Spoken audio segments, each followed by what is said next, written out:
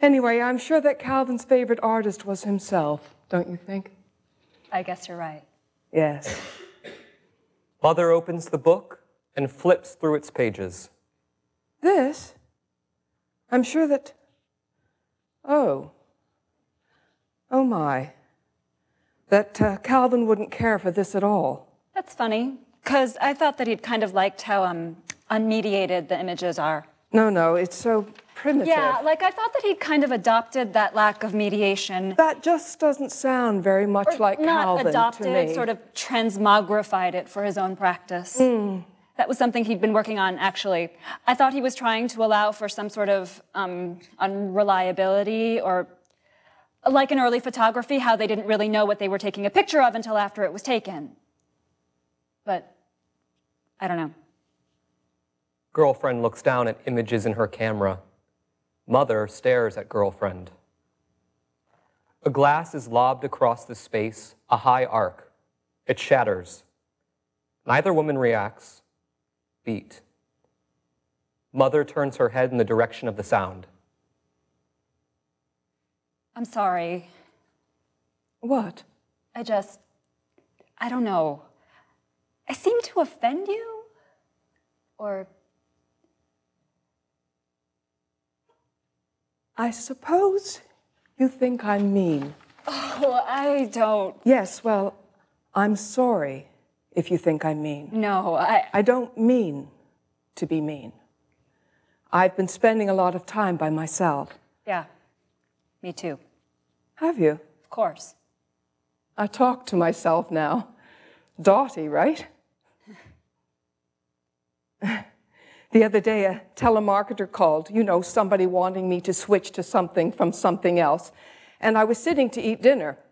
They always call you at dinner, don't they? Girlfriend grabs her camera. She begins taking pictures of mother.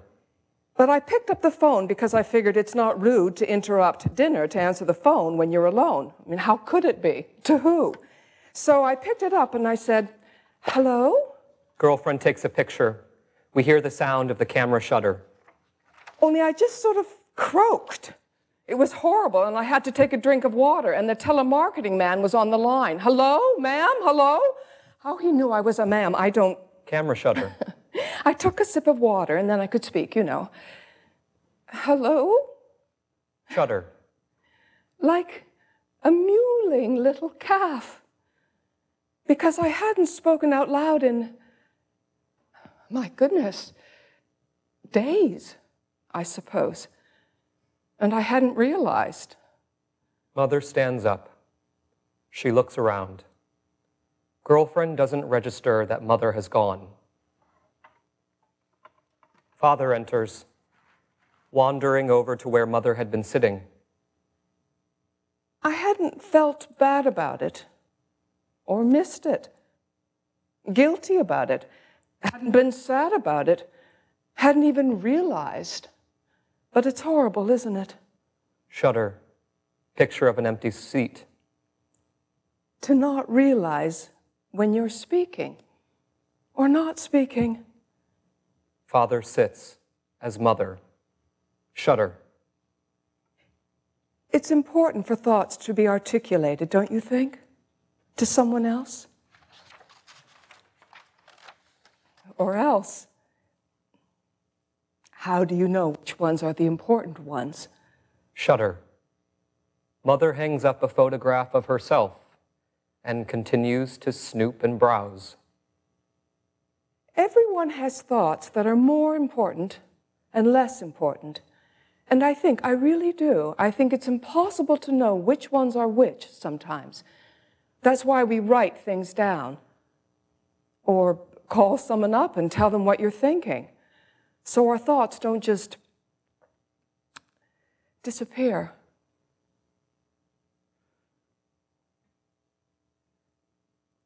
We meet someone for lunch.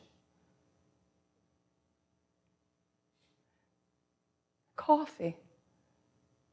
Shutter. Or just call. We can talk on the phone.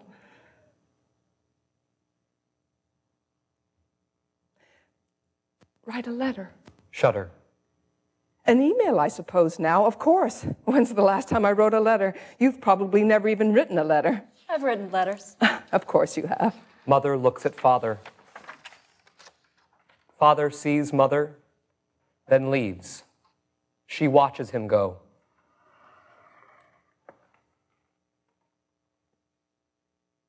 Hello?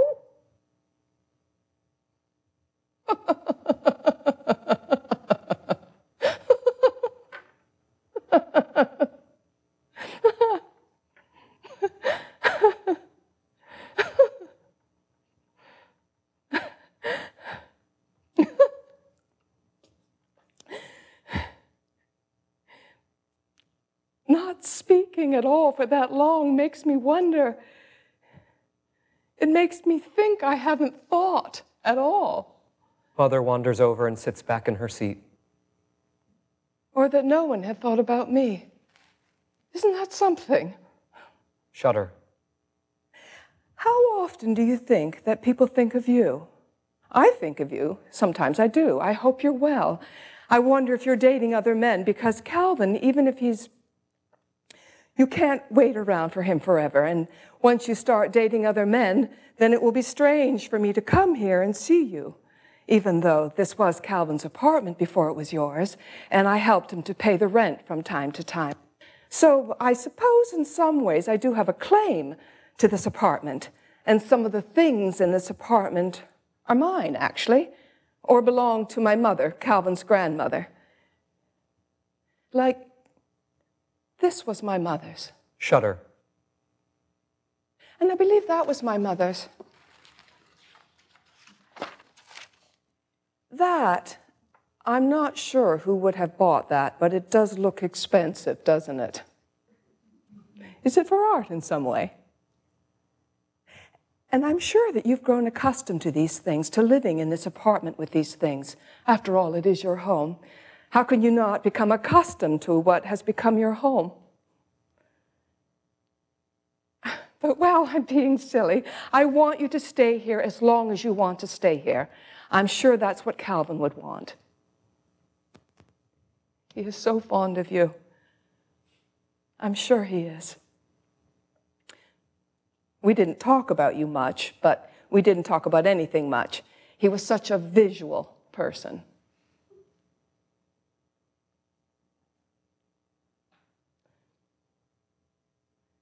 It's nice that you're continuing with his art. It's very nice, the photographing. I'm sure you are very talented. I don't think Calvin could stand to be around people who weren't really very talented. He told me he burned my books once. Excuse me? Well, I went to a friend's opening. He didn't want to go, and he didn't want me to go, but I wanted to go. And when I got home, a lot of my books were like gone. And it was kind of smoky in here. And he was, you know how he can get sometimes. And he told me a lot of stuff. But he said that I hadn't really read them and that I was pretentious and that they were me trying to be something I'm not, and he burned them. But I don't think he really burned them. I think he pretended to burn them, but really gave them away. I think he wanted me to think that he burned them, but really, I don't think he did. I think he gave them away.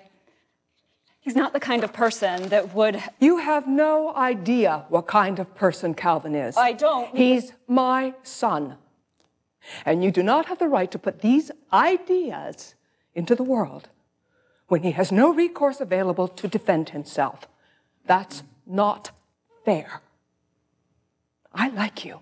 I do. And I empathize with your, but please do not think that means. I understand better than anyone that, that empathy is not, how to say it. Calvin's father would say that empathy is not unrelated to domination for some people. I don't think that. Some people think it's fun to turn whomever you want into whomever you like. But I'm not trying to turn Calvin into anything, anything he wasn't. Do you think I could have some water? If you wouldn't mind making some? One of these pills makes my mouth really very dry. But I never remember which. I suppose it doesn't matter which. A pill is a pill is a pill.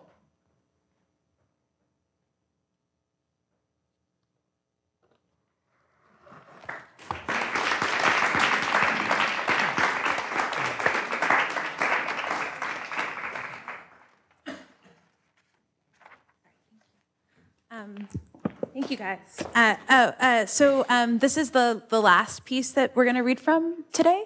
Um, um, it's from a play that used to be called "The Theory of Rational Choice." Oh, please come in. Um, sit wherever you like. Um, uh, uh, but uh, has gone. I've been um, sort of starting over from scratch, um, and it's a play uh, that I think is about girls and uh, coming of age and the internet and YouTube.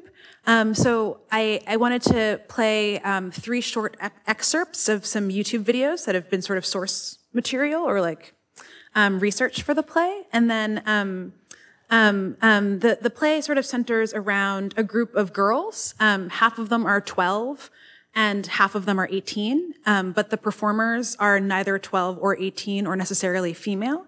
So I should say that uh, Paul, who is not 12 or female, is going to be playing the part of a 12 year old girl um, in, a, in a monologue from this play that is not titled or finished. So thank you. but first, we're going to watch uh, three YouTube videos, or parts of three YouTube videos.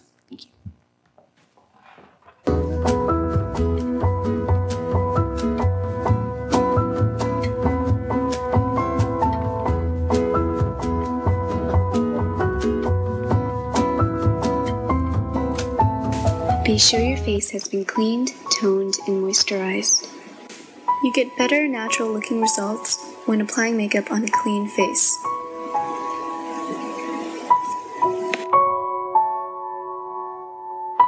Did you know 9 out of 10 people have dark circles? Surprised? Don't be. Now, tilt your head down and locate where your dark circles are.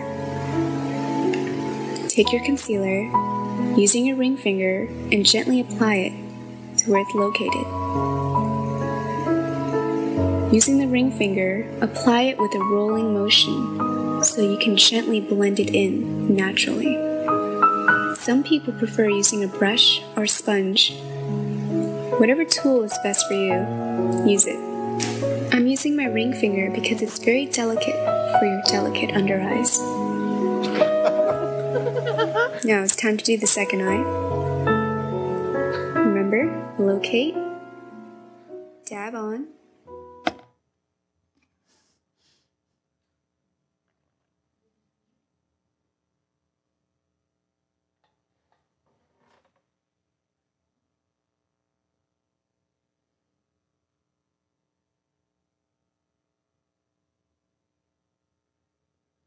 Oh, in this awkward pause um, before the next video, I guess I'll say that that woman, her name is Michelle Phan, and that's a video from 2007. Um, she has since gone on to make much more um, uh, uh, edited and sort of professional looking videos, and she actually recently got a million dollar contract to create her own makeup line with Lancome. So, um, uh, from humble beginnings. um, I was sick, but I'm better now and I'm back. Um, yeah, so I wanted to tell you guys about the haul that I did. Um, some is drugstore, some is Sephora, and some is Maybelline. So, oh, pardon my eyes. I was just fooling around with the stuff I got. Yeah, so I'm going to start with the drugstore. I went to Rite Aid, and I found NYX stuff there. They only had a couple things. They had like some glitter jumbo pencils or whatever. I didn't get any of those. And they had the mosaic blushes. I didn't get any of those either. But they did have some trios. So the first trio is Hippie Chic. And here it is. So it is a lavender, like a aqua tealy color, and a really light color. I'm actually wearing the light color on my brow bone. Then the second um, thing I got from Rite Aid is a trio called Serengeti. It's pretty. It's like um, a mossy looking green, a more limey green, and a yellow. So that's that. I like this one a lot. And the last? And as we go into the next video, I'll say that that video is about 10 minutes long, and it's uh, called the the genre of it is haul videos where people go and buy stuff, and then they tell you what they bought and they show it to you.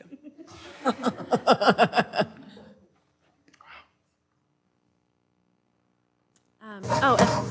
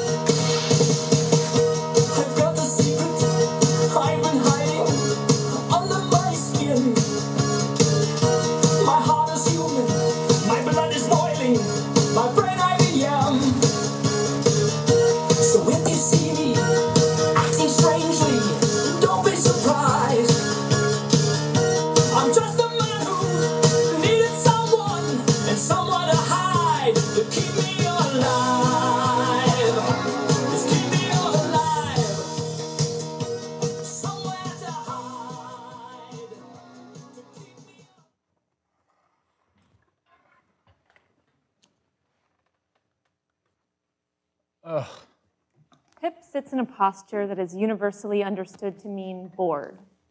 A chorus of empirical posture of bored morphing into various other contortions of boredom. Motionless videos of 12 of 12 year old on the screens. Have you ever been so bored that, like,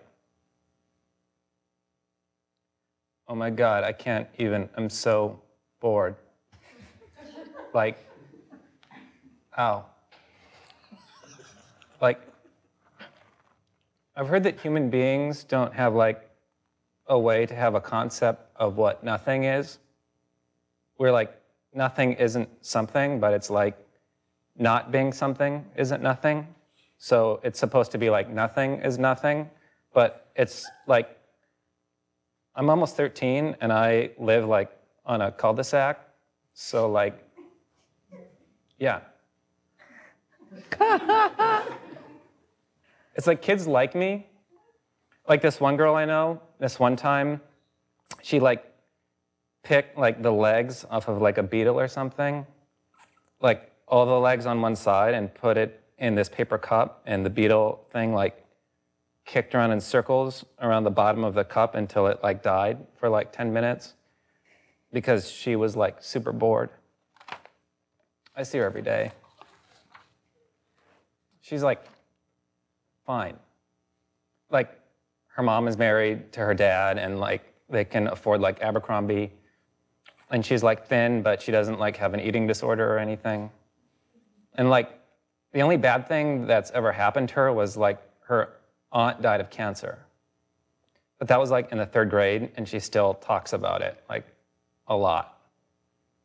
And that's sad and everything, but also like a million years ago. And she has like a brother and like a lab or something, like a family dog.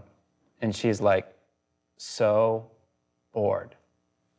Like to the point of like criminal insanity, which kind of sucks because she hates me. like actually, like physically, like I give her hives. Like I've seen that sometimes. Like she looks at me and gets these splotches on her neck, and because she hates me so much, and she has nothing else to think about really. She, it's like she just thinks about how much I suck and like fills with rage that actually changes the chemistry of like her brain and like her body, and she gets hives. And so like she spends all of time thinking about how like literally like to smote me from the earth so that I'll like cease to exist and she can finally find some peace or something. But in like third grade, before her fucking aunt died, and we were like actually friends, kind of, I went to her house like three times maybe. She has two beds in her bedroom, even though it's just her, and her mom always changes both sets of sheets, even though she just sleeps in one bed because, like, why would she sleep in the other bed? And there was this one time when she was making me cut my hair in the bathroom at school, and there was kind of a crowd of girls, and I was kind of freaked out because I was cutting my hair and I was crying or whatever and panicking, kind of. So it was taking a long time to cut my hair off, like how she wanted, which is really bad because things get harder when she gets impatient because that like makes her border. And I was afraid, and I was like, "Do you still have those beds?" And she was like, "What?" and it was like really weird. Like now I'm like, why did I say that? But I guess I'm weird and I say stuff, so whatever. But she like freaked and was like, oh my God, you're obsessed with me. Like I was stalking her or something, like climbing up her house and looking in her room and like I was a lesbian or something, like masturbating and watching her sleep and stuff, which was like terrible. and then she said that her room was smelling weird and it was probably from me like sneaking into a room and uh, like masturbating. And so now when it smells weird, people say it's my vagina. Even during class, like if someone farts or something, some girl will tell me to cross my legs. That sucks. Kind of a lot. And like, everyone hates me, which should be like interesting. But it's like,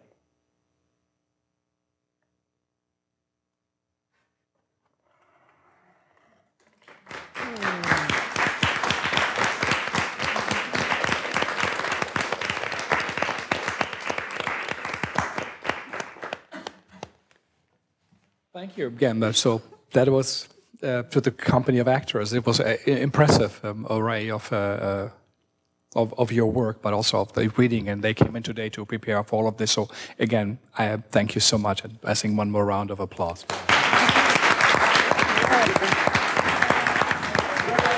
And thank you to the director, of course. Thank you.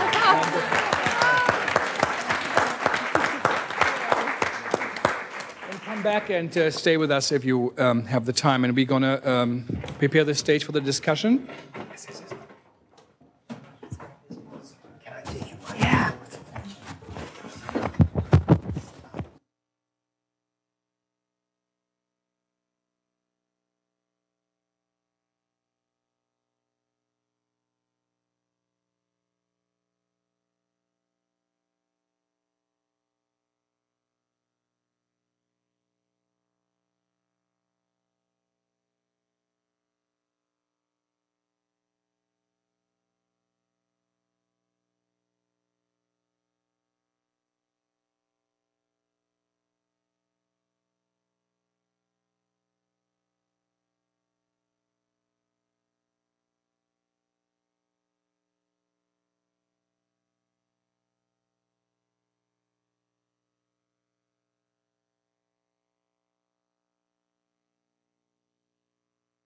Thank you for coming and for staying. And also want to acknowledge Alison Lyman, who's my new co-director of programs. I don't know if I mentioned you. If I didn't, um, and now um, I did. So um,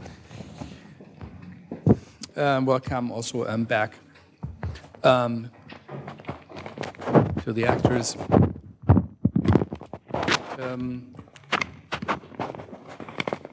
so maybe um, we, we start a bit uh, talking about um, uh, while Jackie gets uh, mic'd up.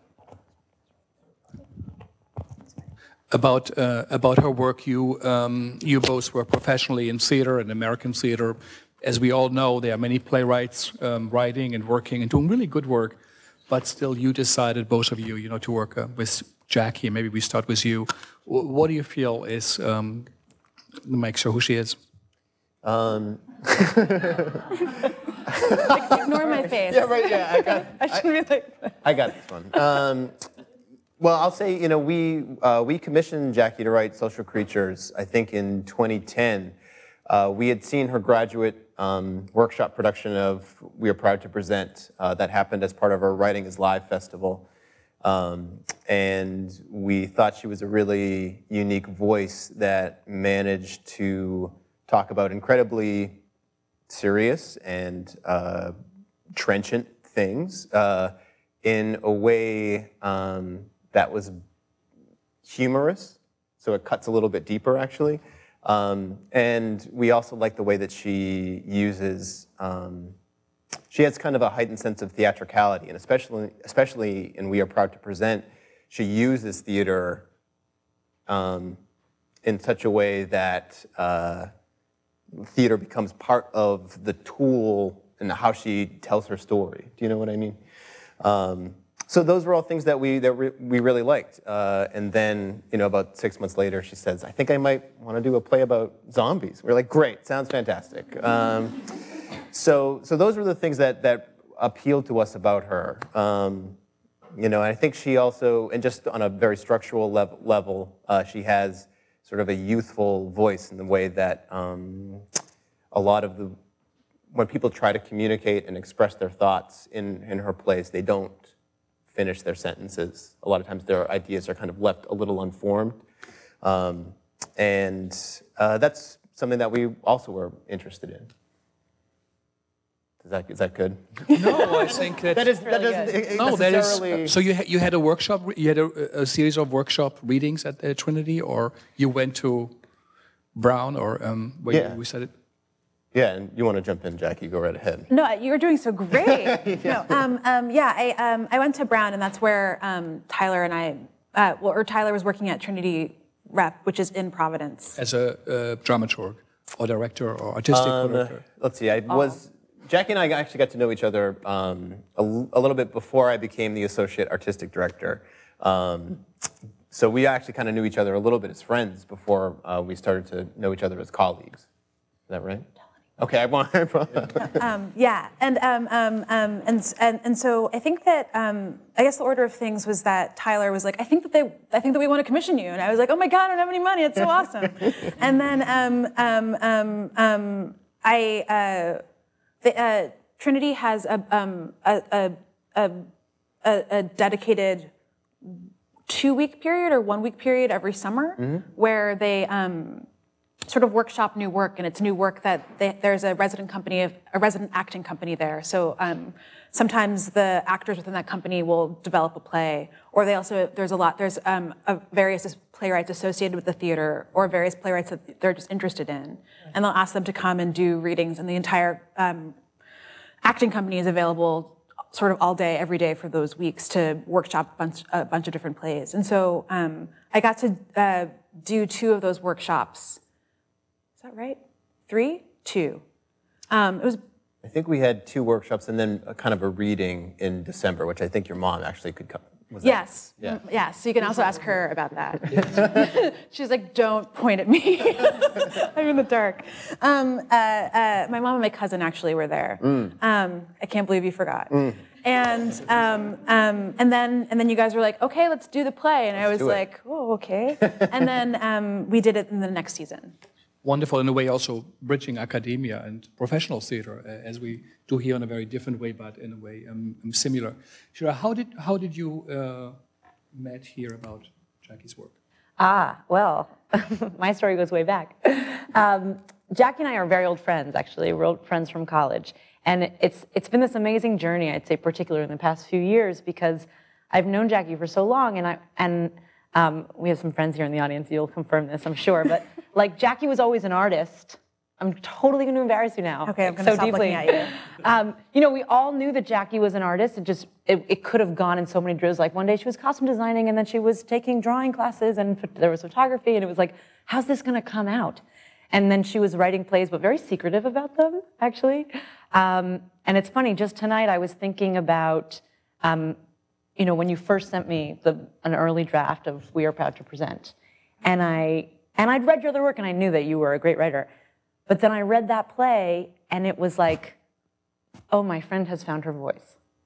Like it was so, and people who've seen that play who who have read it know what I'm saying. But for me, it was such a personal experience because I knew you so well, and it was it had both um, obviously the humor that Jackie brings to every conversation and experience, um, but also this this depth of insight that sneaks up on you that happens in the play.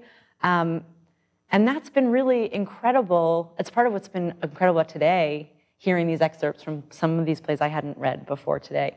Um, that to, to see that voice developing and developing and, and knowing the person so well first, and to see how true and clear as a bell that voice comes from what I know the person to be.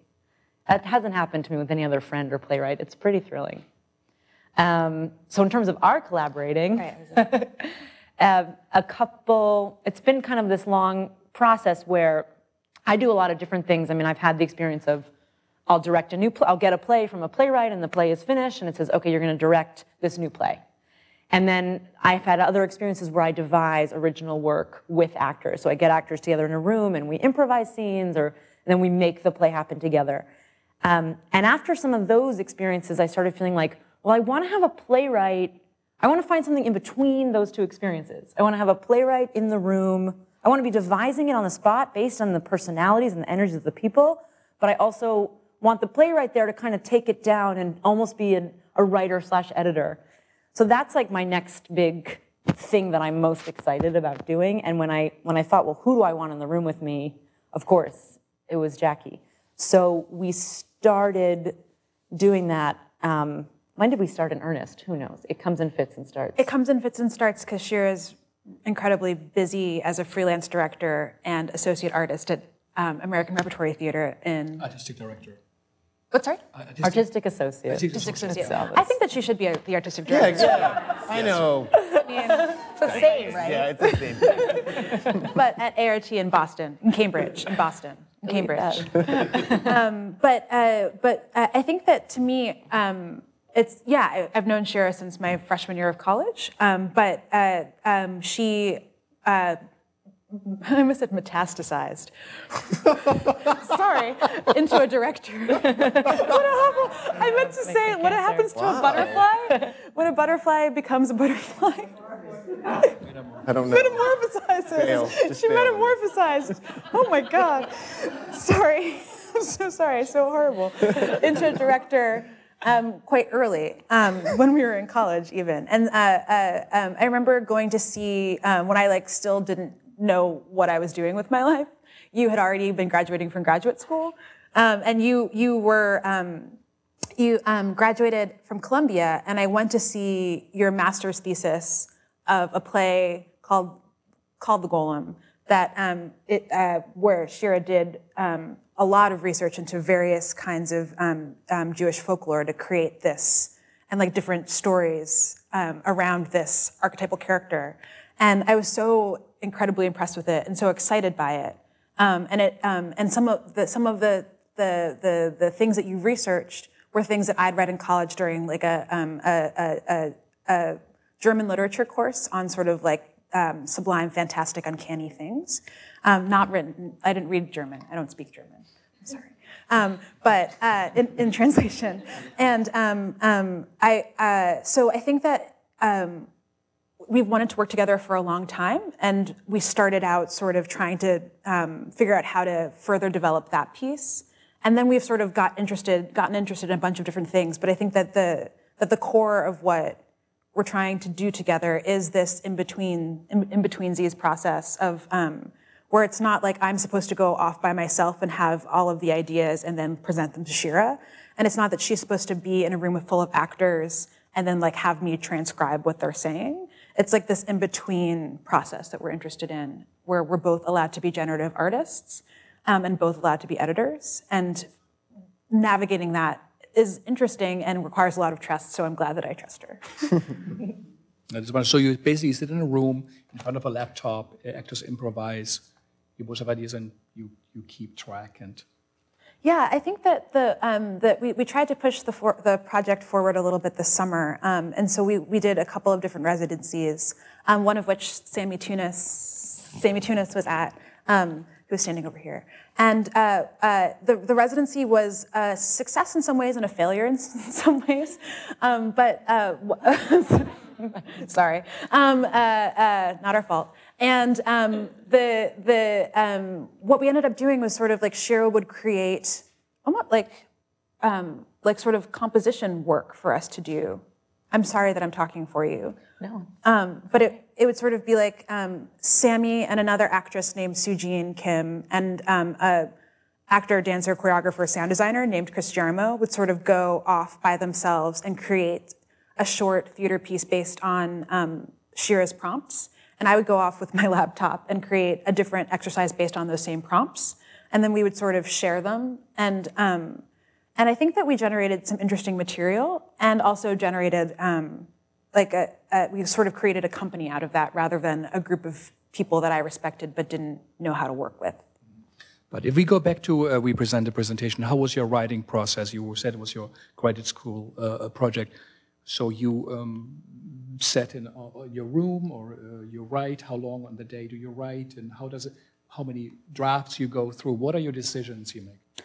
Oh goodness. Um, um, so I, I, guess I started to do research for the play um, um about two years before, or three years before actually starting to write the thesis um, or the, the play itself.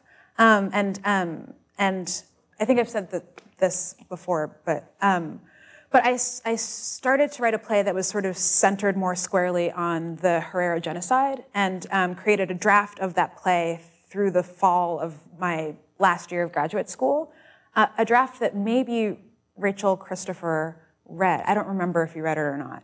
Uh, we went to grad school together, and Rachel was in the workshop production at Brown of that play. Um, and uh, but I, or maybe I just read it in workshop, and it was a, a, it was horrible. Um, it was not good, and there were, um, and so I um, freaked out because we were starting to do a workshop production, and it was cast, and um, so I needed to uh, uh, write a new draft of the play, and so I, um, to be totally honest, I remember like freaking out a lot. I remember pulling an all-nighter in my mom's living room in New Jersey because we were on like holiday break, um, and trying desperately to make a different version of the script. Um, in which it seemed like the ways that it was failing, once I stopped freaking out, seemed sort of interesting. Um, and so it was, uh, so I tried to create a sort of more meta theatrical experience where there were actors that were failing to represent the story in similar ways to the ways that I feel like I failed to represent the story. And so um, we came into rehearsals in January with like a half old version, not totally finished new version, and I brought in new pages a lot. So um, I would be in rehearsal, um, um, I would say like probably three quarters of the time, maybe half the time, and then um, bring in new pages and hear them, and the director, Mikey Perlman, would help me, um, would like stage them a little bit, and then I would run away and bring in new pages. And so I think it, um, I, I thought that that was a process that was specific to that production, but then I realized something really similar happened with social creatures too. So I think that maybe um, my process is thinking for a long time, then accidentally and amazingly having the opportunity to work with actors and a director, and then writing lots and lots of new drafts and crying, and then the play happens. Mm, it's, it's truly an interesting. Um, I think unusual, um, um, not completely, but still unusual way of writing, almost like musicians who get together, they know each other from college, play in a band. They, someone writes a song, someone comes up with guitar solos, and then you try to put it together as it works, it doesn't work. And, um, and so I think it is a, most probably, you know, a way uh, of that post-dramatic idea of theater that not the playwright as a genius sits alone under the moon and writes, and then you know, the genius director directed. It is uh, uh, this paradigms are changing, and for sure your work, which is a useful work, but whose talent has been recognized right away, uh, is a great um, example. Let's uh, still talk about that play. Um, is it a political play, or do you see yourself as a political writer? I I guess so. Um, I think, or I mean, all art is political, but like I um, I I hope so. I hope that it, but I hope that it's um, I, uh, political but not didactic. I hope that um, that it's um, that it like engages with ideas that have relevance to um, people now, which um, but that isn't um, prescriptive in in in uh, articulating some sort of like agenda about those ideas. That I don't know if that. How do you see her? Is that a because uh, there is often said, you know, political theater doesn't exist anymore. It's too boring. It's more about relationships, family plays at tables, and this ha- did, had a different uh, voice to it. And um, so I, um, I felt when I uh, heard it and when I saw it then again that it is, uh, in a new way, an updated version of a work by uh, Peter Weiss, you know, or a political theater where you take a theme that is highly complex, you know, and try to find a way to tell the story in the times we live in um, that people can understand. It was very old methods, you know, of a play and a play and uh, pretending it's a rehearsal, but no one sees it. But um, why didn't you do a YouTube video or did a painting or write an article or did a dance or whatever you could have done? Why did you choose theater? Um, that's a good and scary question. Um, the, uh, I think um, I, um, I, I don't, I don't say I grew up in the theater, but I, um, I love theater, and I've loved theater since I was a child. Um, um, Shira and I both did a lot of theater in undergrad, and um, I that was uh, actually okay. So weird way to answer this question. So um, there, no, actually, let's not go into that. Uh, or no, yeah. For a second, I thought that I was going to be um, a philosophy major when I was an undergrad, um, and then I realized that there was like a there's a lot like a logic slash math component to that, and that was not great. So um, I ended up sort of skittering away with like my tail between my legs after like almost failing a logic class. Um, and uh, the the the thing that I like about theater that I don't like about philosophy is that you can ask a lot of questions and you can um, um, ask a lot of questions about something that someone has already asked a lot of questions about, and you're still allowed to ask those same questions. Um, and that you can engage with ideas without offering answers, and that you can engage with ideas from a variety of perspectives instead of creating one sort of thesis and driving that thesis home.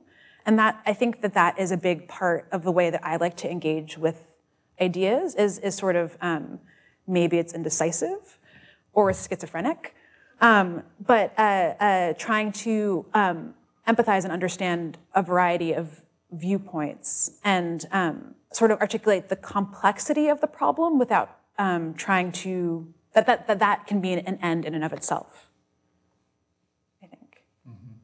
So, since you presented her work, also, what, what were audience reactions? Did you talk? What do people, your friends or audience, what do they say? Um, yeah, it was funny, you know, because uh, introducing the, the play to our audiences, for, for our younger audiences, uh, they took to it right away. They loved it. But we had to sort of explain that there was a, a, metaphor being drawn between sort of zombies and um, consumerism, right?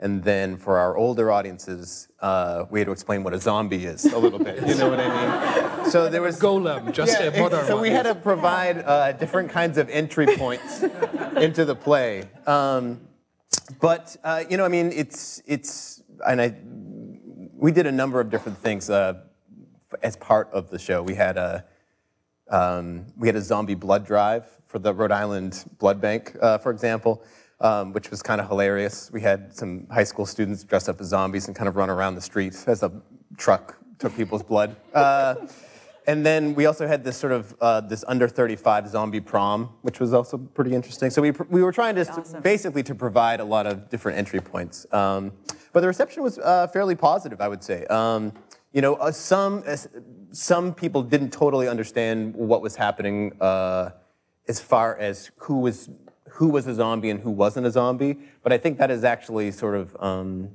on purpose in some ways. Um, and uh, but like for example, like reviews were really positive, and uh, actors were, were certainly enjoying it because uh, one of our company members, now company members, Becky Gibel, who played Mrs. Smith and got to turn into the zombie, was like, "How fantastic is this? I get to literally turn into a zombie on stage. I get to act it out, and then I get to eat somebody. You know." Um, which is what any actor dreams of. Uh, um, but no, it was it was very positive.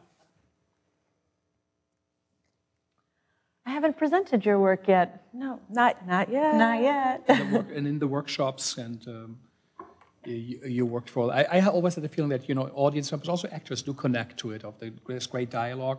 As we saw in the scene with the mother, there's also a psychological depth, depth to it, um, depth to it that um, um, you know really comes through, and you can feel a person. And there, we could also hear quiet moments, you know, in, in just these very short readings uh, we had here um, you know, where you could feel you take the audience on a hand and into um, um, into a journey. And um, let's talk a bit also about the YouTube, the entry of reality, whatever it is, you know, into theater, the um, idea that uh, what reality television has done for TV series, you know, um, that completely changed, you know. Uh, what what are you in what what are you interested in when you look at these videos? Why did you say this is something I would like to, to, to investigate? Yeah, I think um, I think that it sort of came out of spending way too much time watching internet TV. or um, give some example. What internet TV do you watch? All, all like the worst. What? Yeah. Like I, I watch a lot of Hulu. I watch a lot of like reality TV. Like my what husband shows? is like, I mean, oh, what, what, what show- doesn't she watch? What? Yeah, give us some shows. what do you watch? What are you? I mean, What I- TV shows are you watching, Jack? What- what am I watching? Yeah, Orange is the New Black. Is that you're watching that? I, I that's well, good. no, because I don't have. I mean, although I recently realized that we do have access to someone else's HBO Go Uh-huh. code, but I haven't been watching Orange is the New Black. I have been watching Sleepy Hollow. Yeah. Um, I'm really into that. Um, I, I've been. wa- I watch a lot of Chopped in general, which is on the Food Network. Um, I, oh, I started watching Kitchen Nightmares. No, no, that's not what it's called. It's the other Gordon Ramsay show where there's children that cook, um, and it's like so. It's, it's really intense. Oh yes, yes. Thank you, Bailey. You got me. Um, metastasize? No. Metamorphosize. Um, uh, so like any anything anything that's either um, I basically just like anything that's an hour long, like drama dramas and reality. Um, but I also think that I spend a lot of time looking at blogs like um, Jezebel, which is like a female gawker, but ter- like and terrible.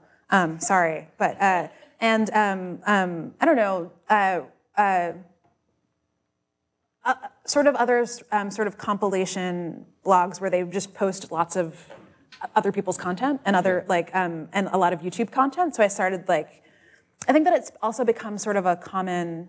I remember being in college and at parties with Shira, and uh, because we uh, went to a college with, where there's a lot of awkward people, sometimes parties would de- degenerate into showing uh, each other YouTube clips, and you would like stop talking and you would just sort of show different things that people posted on the internet, Mhm. and um, and so I think that like the the the like rabbit hole of YouTube is something that like has been ar- around since I have come of age since I've been become a woman. Um, and so I, I feel uh, like the things are sort of connected strangely, um, where um, I, I, uh, I also think that uh, something that has started happening um, is that if you don't know how to do something, you can Google it and then watch a YouTube video where someone will explain to you how to do that thing, which I think is so fascinating. And I, um, I don't, um, so I started watching sort of all of these different tutorials just because I, I, I find the aesthetic of them really fascinating. Um, and that was sort of my like way into looking at, at YouTube stuff. Um, and that there are all of these different genres of sort of like video diaries, of um, different sort of commercialism, or different kinds of consumerism that um, like buying stuff, showing people how to use stuff that you've bought. Um, and, and also, um, um, sorry, I'm a little bit all over the place, but uh, I also ended up reading um, a Rolling Stone article about um, the last YouTube clip that we saw, uh, a, a, young woman named uh, who named herself Kiki Kannibal, who um, sort of went on, became like a, a, YouTube celebrity, which is such a weird thing to become. And the the video that we saw is one of her early videos, also from around 2007, 2008. Um, and then um, she sort of um, was bullied a lot at her school, um, but became, but like found friends through the internet, but then um, also got uh, very much taken advantage of by people that were fans of hers on the internet. And so I thought that that was such an interesting conundrum because there are a lot of things that you can see in that video. It's, I think it actually, for being so simple, it's incredibly complicated thing, complicated sets of, um, of, of um, what she's aware of and what she's not aware of, um, whether she's whether she feels like she's doing something that's private or whether she's very aware that it's public. And I and I see I, I see some a sort of relationship that um, where um, when I was 12, 13, I would sing along to Rent and other things um, alone in my bedroom. And I think that there's a version of that where you just sort of sing it alone in your bedroom into a computer screen and then you post it. And it's, I think that um, it sort of is as simple as that, but then um, instead of like pretending that people are watching you, you're still pretending that people are watching you, but then people actually do watch you. And that's such a weird way to um, experiment with that, to experiment. And so, um, I got really interested in trying to write a play that sort of goes into that world or that realm. Yeah, I'm sure it is a very interesting reaction to that new world we do, we all do live in, and especially kids on that age. Um, and instead of parties of talking of uh, philosophical ideas, it's an exchange of ideas or visual ideas, often what you see in videos. Or, so it's a, it's a completely it's a language mm -hmm. um, on its own, and um, trying to make some kind of sense out of it or give some meaning is truly um, um, um, interesting. Um, I, I know you studied playwriting, so it's not uh, just the YouTube. But who inspired you from, from, let's say, the traditional writers or writers where you say, I look, you look up to, or you feel they are close to you? Who are those? Oh, I mean, there's so many, and of course, I'm not going to be able. I'm like my mind's about to go blank. I can feel it. But um, I, I, I think in some ways, I feel, um, I feel uh, like I mean, I'm inspired by the canon. I'm inspired by Brecht. I'm inspired by right. Pinter. Mm-hmm. Um, by who? Pinter. Pinter. Mm-hmm. Um, but I also I think that I feel really inspired by um, uh, uh, mo- like contemporary writers. Um, I, I, I, think that Young Jean Lee is amazing. I, um, I think that um, Thomas Bradshaw sometimes makes me horrified and sometimes I think is amazing. And I think that that complication is really interesting.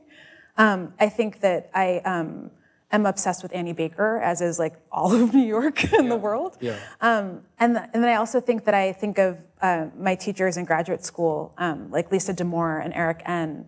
Um, and Tracey Scott Wilson, as being three very different writers, but people who um, really um, showed me what playwriting could be, kind of. Um, I think that I also uh, am really inspired by, um, um, I guess, my classmates in graduate school, Joe Waechter and Mallory Avedon and Mia Chung, and um, writers who are doing things that are interesting and um, racially and, and, and racial and political, like um, um, like Brandon, uh, I said Brandon Alexander Jones. I combined two people, like uh, Branden Jacobs Jenkins and Daniel Alexander Jones and Kristoffer Diaz. Um, people that are that are um, that are using um, that are using politics and race in their plays um, that aren't writing plays that I would consider race plays, but that they use that as an idea rather than the endpoint. If that makes any sense, I don't know if it does. No, it, it makes a perfect sense actually, and I think your your your plays really, you know, if this would be a map you know, of different villages or of cities that really fits in there um, very, very well. Because before we come to some audience questions, maybe also we hear a little bit from the actors. You said you you always loved theater. What is your earliest memory ever of theater? What is your first time you remember seeing theater? Oh, seeing theater.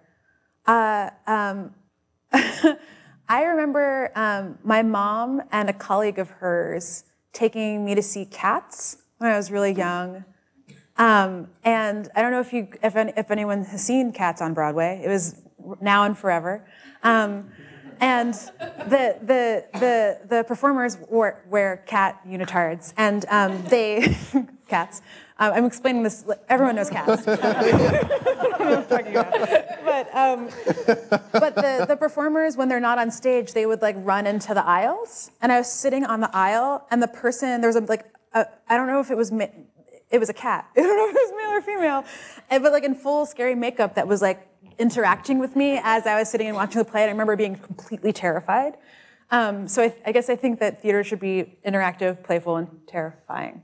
that is a, a very good, uh, good uh, uh, start, and I think you you really um, followed that, that tradition. And I hope with the zombies and and and those um, um, girls and the, all the research you do. Um, but uh, we we have some of the actors here, and maybe you can also give a microphone to whoever. How, how does it feel? You also you perform uh, so many plays, and I know, also know that New York actors, which you are so great at, at preparing readings in a short time. So you read a lot of uh, uh work with uh, text. What does strike you? With you, uh, you maybe have worked also already a bit more, but also Eva or somebody else to answer. What? How does how does it feel to speak her lines? Jump in, Jimmy. Jimmy wants to talk. Um, Look at him. It feels great. I uh, I um, I'm just listening to. I always love hearing Jackie talk about her plays, um, and I think like what I what I've learned tonight is that I think that I like working on her plays because I think that I too have I I think she thinks in like in maps and like looks at every angle of something and has kind of um, like a quote unquote like hummingbird sense to her, you know, versus like a fox. I think that's like a book like blah blah blah. But uh, um, I think that she she writes non-linearly, and um, I think non-linearly, and I think that. Uh, I, I, I like that. I like that. I like that marriage of working on her material. I like that aspect of it. I actually uh, saw We Are Proud in Chicago. I was at their their opening night, and then I was surprised that I got to do it here in New York like a year later. And uh, it was it was what she said how her work sneaks up on you, or it's it's it sort of peels itself back as you work on it. And that's what happened. We were in the the second week of rehearsal, and I just remember being I, I felt tricked because I was I, I was like I didn't I didn't realize how smart it was until we were sort of wrapped up in it. And how you were talking about using the actors' personalities to influence the play, you know, because we're doing this, this play within a play. We're actually creating things in there. So our personalities are coming out. And I was sort of tricked at, in how that actually affected our production. You know, we didn't even know when we were actually rehearsing or something was going to be used in the play.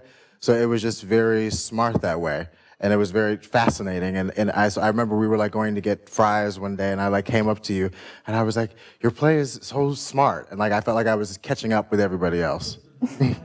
did actors actually in the play? Did you had discussions? Did you had fights while you were rehearsing, uh, or yeah, not fights? I don't think it ever got that deep. I don't know if we were. I don't know if we were. I was like, but there were there were tense moments, and I don't think we realized what was happening you know, because we were creating, you know, some of these little flat, like the, the play within the play, but we really were, you know, as ourselves trying to figure out what should we do with this part. So it was, it was very real. So, so when we disagreed or you're trying to politely agree with someone else's idea, you know, that, that was all very real. And that's what made our play. Uh, we worked on really, really, really, really, really up at Dartmouth with New York Theater Workshop this summer, and Jackie has the most amazing ability to truly go into the unknown. And, you know, actors are always talking about being in the moment. And she puts you in the moment. And working on that character who's grieving and who's trying to hold it together. And um, I said at one rehearsal, I said, Oh my God, I'm as lost as the character.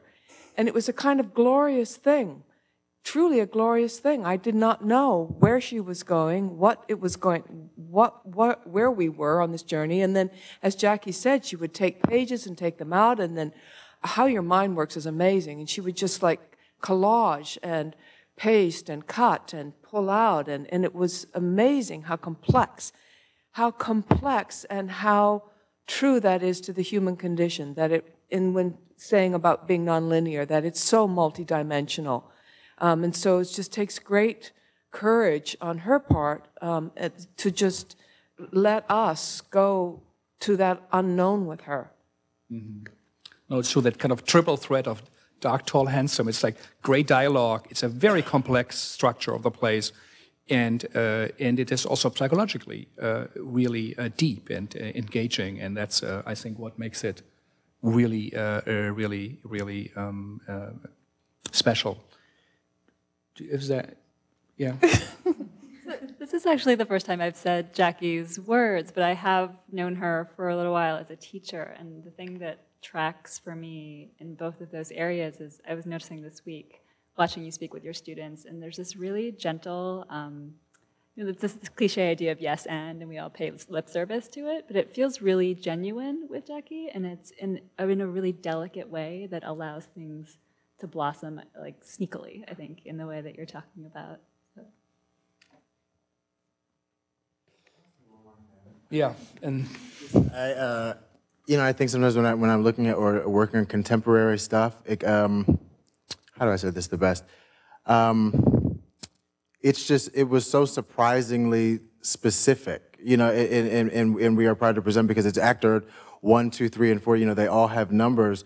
But I remember thinking how great it was that as we were working on it, all of these these numbers are very specific people that she's written that, that you sort of discover throughout the play, even though you're bringing your stuff to it. But there's something already that she has in there for you that, for you to find that you don't find until you're already in it. And I, you know, I, so I don't always feel like a lot of contemporary plays have that. She's sort of. Um, I don't know. She's a great contemporary writer, is what I want to say, and it, and it's rare to feel like they're as, as smart as they are.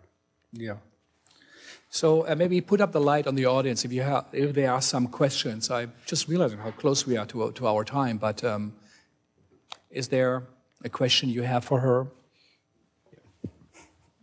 Thanks, Jackie. Um, I have two questions actually, and you can answer either or neither or whatever you want to do. The, the one is about process. I was interested in what you said. I'm, I'm a totally different kind of writer, but when you said you were working on um, you were home over holiday break, pulling the all nighter, and you were working on the draft of We Were Proud, and then you had this idea that it was going to become sort of a meta work. When you're working on something and you start to have these feelings like you're going crazy and it's failing, how much, like in this instance, that bore tremendous fruit and it became this great play. I'm sure it would have been a great play anyway, but like how much do you trust that and how much do you try and keep that down, that the thinking about the process while you're doing it? My second question is I had been thinking the other day, coincidentally, I think, about how when we were kids and we really had someone had a crush on someone else, you would say, She's obsessed with him. And I noticed in the monologue from the untitled work, the girl says, either I'm she thinks I'm obsessed with her or she's obsessed with me or whatever. And and it struck me that with the videos and what she was talking about, it is kind of about this idea of obsession and what it means to someone who's that age to be obsessed with something. And I just wondered if that's something that you were thinking about, or like I would love to hear you talk about that. Oh my God, thanks, Reed. Um, now it's going to be about that. Um, it was not intentional. That's so much better. Oh my God, now, now, now, now I have to give you writing credit.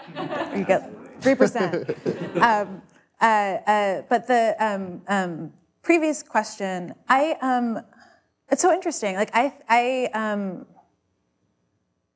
I don't know how to not panic when writing. Like I, um, or like I think that there are some periods where um, I feel like everything's going fine, and that's generally when um, if it's something where it's like I'm uh, I'm reading something and I just sort of like start to sort of doodle some, and then I'm like, oh, ha ha ha, that might be in a play someday. But as soon as um, there's as soon as there's enough uh, there to make a draft, everything is um, lovely and horrifying the entire time.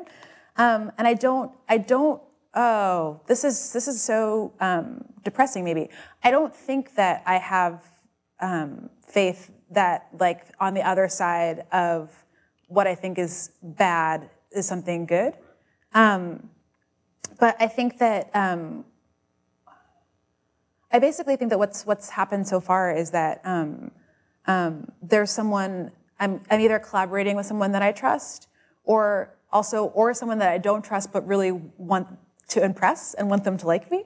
Um, so uh, th- that pressure makes me work through like um, it's all like it, right now it's it's a, I mean it's like a miasma of negative reinforcement. It's just like, but in a but in a in a positive way, um, if that makes sense. Where um, I like don't want to um, I don't want to let someone down, so I work through feeling like I'm letting them down. That sounds super depressing, but it's also true. Sorry. And the obsession. Oh, and the obsession. I um, I um, I I think. Yeah, I think that that's a really smart connection, and honestly, not one that I would have articulated. Um, I honestly not. I, I, but I do think that there is. Um, I think that uh, my relationship to watching YouTube videos to me feels obsessive, in that um, it feels like strangely solitary and strangely repetitive. Um, and I, I think that I keep watching them because I think like or like um, doing the same thing and expecting different results. Like I, I think that I'm going to like unlock something or feel um, like like I've learned something from watching them, and I don't know that I have, but I keep doing it. But I don't um, know. I don't know, um, and I think that creating them seems the people that create them. I think that they seem obsessive. Um, but it's really interesting to think about what obsession means when you're 12, or like how what you're besides being a perfume from Calvin Klein when we were 12. Um, but the the um, sorry the uh, I don't yeah I'm not sure. I hadn't thought about that before, and I'm excited to think about that as I make a new draft. Maybe one or two more questions. I was. We are recording it. That's why I'm talking. Uh, I was in a workshop at New York Theater Workshop with uh, Jackie on w- writing through the senses, and what I noticed between your afterwards, I read your plays, and you you guided us through what seemed to be unrelated senses. Often you would say you weren't sure it was going to work, but somehow, you know, when most people would go blah blah blah blah blah, this is what you need to do, this is how you structure it. You were exploring and getting so much deeper than the cognitive level. And so, and, and, and the only thing I can compare it to is hearing Buckminster Fuller talk when he was young. Oh, he was old rather, and people thought they couldn't understand him. He was he'd go on one topic, another, another, and people were looking like, "Oh, what's what's going on? Is he senile?" And all of a sudden, every single strain he had seemingly played with or run off on all came together with a brilliant insight. And that's kind of what I think your plays do. So my question is, are you on some level aware when you are fighting the, the insecurity and the feeling it's failure or not knowing what's going or having all these pieces? On some level, do you know that you're moving towards something or you just determined to? I mean, is there a, an underlying, not necessarily structure, but just a, a real awareness of kinesthetically awareness of what you what you're saying? Um, I think that um, that's a, or thank you, uh, Tita, that's really nice of you to say. And um, I think, um, I, or I'm realizing that a more positive way to think about the doubt and uncertainty is, it sort of goes back to um, um, a teacher that, that, that actually Shira and I both had, a playwright who I'm completely inspired by and I'm embarrassed that I left her off of my previous list, uh, named Deb Margolin who um, in the in the class that Shira and I had with her almost a decade ago, um, talked about uh, uh, um, talked about creating plays uh, based on your obsessions, actually, and based on um, things that even if it didn't seem like they went together, if you're thinking about them a lot right now, they belong in the play that you're writing. Um, and I think that that's a big part of um, the way that I generate material. Like I think that um, as I was trying to write this play about the Herero, I couldn't stop thinking about the racial dynamic of the actors that would be playing the Herero, and I couldn't um, separate. And I, uh, so I think that I kept on thinking about it and sort of decided that they probably they belonged in the same plays in some way. Um, and I also think that um, I I go through a, a, lot of drafts to create a play, and so I don't think I think that um, in the middle, I think that uh, let's say for um, for social creatures, like I um, I probably I definitely brought in new pages. Uh, uh, I think almost every day of rehearsal for the first two weeks, and then I and I know that we reprinted the entire script three times in the rehearsal process, and that was after probably um, that I actually showed to people five drafts, but that I like have on my computer probably closer to 16 or 17. And so I think that um, uh, the the and I think that I wrote the fewest drafts of any like there are far more drafts of We Are Proud to Present than that. um, and I think that uh, uh, it's only in draft five or six or seven that I realize what the play is actually about, or maybe eight or nine or ten or eleven. Um, and and so I think that then you like going back and making it seem like I knew that that was what it was like from the beginning is like the, the great trick of live theater where it like seems like it is this linear experience when um, even though it's clearly not a linear experience, but like um, getting to go back and um, um, uh, sort of put put pieces together in a more thoughtful way than in the first draft and the second draft and the third draft and the fourth draft once um, it seems like the ideas have coalesced around something um, because I also think that it's like it's like creating a game. Like it's like you want to um, you want to have uh, enough room for people to think while it's happening and to play with what's happening, and uh, um, uh, but also hopefully to feel supported and like there's a, a path through the experience, um, but not necessarily directed because that sort of is a forced march and not a game. Um, so. Uh, uh, um, after, so yeah, just trying to create an experience for people to go through, I think is well, I think you uh, that's uh, uh, a great you know way to look at it and what you do, and I think everybody felt that this is actually an exploration and that we are part of the journey. You took much deeper um, than we did, but we still participate in it. So um, thank you so much. Thanks for directing. Thank you both for coming. Thank you all also for being with us again. Uh, a big applause for the actors um, who were with us here.